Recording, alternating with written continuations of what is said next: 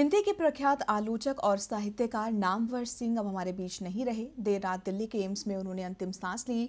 बानवे वर्ष के नामवर सिंह को ब्रेन हेमरेज हुआ था, जिसका इलाज काफ़ी वक्त से चल रहा था, मगर कल देर रात अचानक उनकी तबीयत ज़्यादा बिगड़ गई और उन्होंने दुनिया को हमेशा हमेशा के लिए अलविदा कह दिया। आधी रात को दिल्ली के एम्स से ऐसी खबर निकली, जिसने हिंदी साहित्य जगत में सन्नाटा पसर दिया। खबर आई कि हिंदी आलोचना के शिखर पुरुष नामवर सिंह अब हमसे दूर जा चुके हैं। उन्होंने इस दुनिया से विदाई ले ली है, जिसके बाद से ही पूरे साहित्य जगत में शोक की लहर है। हिंदी साहित्य को अलग मुकाम पर ले जाने वाले नामवर सिंह का जन्म 28 जुलाई 1926 को बनारस के जियनपुर गाँव में हुआ था। उन्होंने हिंदी साहित्य में एमए और पीएचडी करने के बाद काशी हिंदू विश्वविद्यालय में पढ़ाई की थी।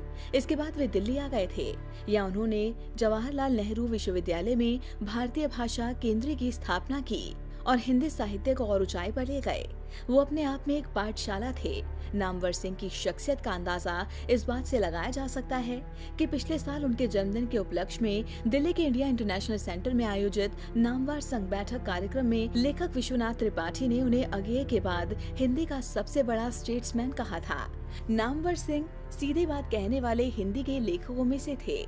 उन्होंने कविताएँ, कहानियाँ, आलोचनाएँ समेत काफ़ी कुछ लिखा, मगर उनकी प्रमुख कृतियों में छायावाद दूसरी परंपरा की खोज, इतिहास और आलोचना, कहानी, नई कहानी, हिंदी आधुनिक साहित्य की प्रवृत्तियाँ वाद विवाद संवाद प्रमुख है।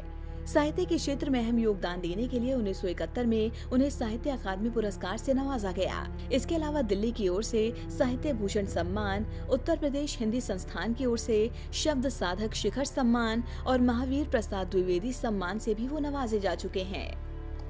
डीबी लाइव की रिपोर्ट।